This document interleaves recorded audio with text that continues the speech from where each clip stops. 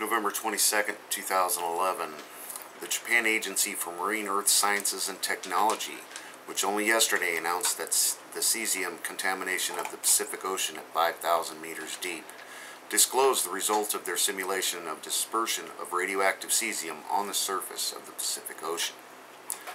Now they tell us that the contaminated water from the Fukushima nuclear power plant accident may have reached the international date line in four to five months after the accident. That would be in the July-August time frame. The map is cut off at the international dateline as if all the researchers carried as if that's all the researchers cared about. After all, they are government research in this government agency for the Japanese. But rest assured, as the researchers and the reporters all say, there will be no effect on health. Well, whose health? Water contaminated with radioactive materials from Fukushima nuclear power plant has spread to the international dateline, about 4,000 kilometers east of Japan. That is the simulation result announced by the Japan Agency for Marine Earth Sciences and Technologies. The simulation uses cesium-137 density. It is less than 1 2,000th of safety standard for drinking water, uh, 200 becquerels per liter post-Fukushima but it is more than 10 times as much as that before the accident. The researchers, uh, led by Y. Matsumoto, used the densities of radioactive materials measured in the ocean near the Fukushima 1 nuclear power plant to simulate the dispersion, considering various factors including ocean convection.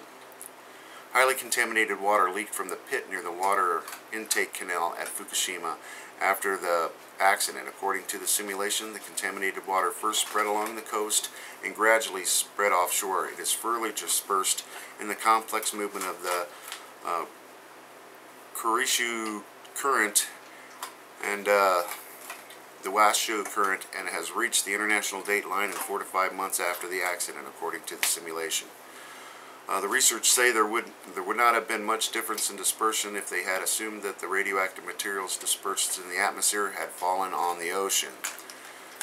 As the end of November, the density of radioactivity cesium-137 would be 0.1 to 0.1 becquerel per liter, or 1 200th or 1 2000th to 1 to 20,000th of the standard for drinking water that is the Ministry of Health set. And these are the new uh, health standards. They're way inflated. Um, survey of the Ministry of Education shows several becquerels per liter of radioactive cesium in the seawater near Fukushima 1 plant. Uh, the number from the are lower, but they are still 10 to 100 times as much as the pre-accident levels. Effects of marine life should be monitored carefully. No kidding.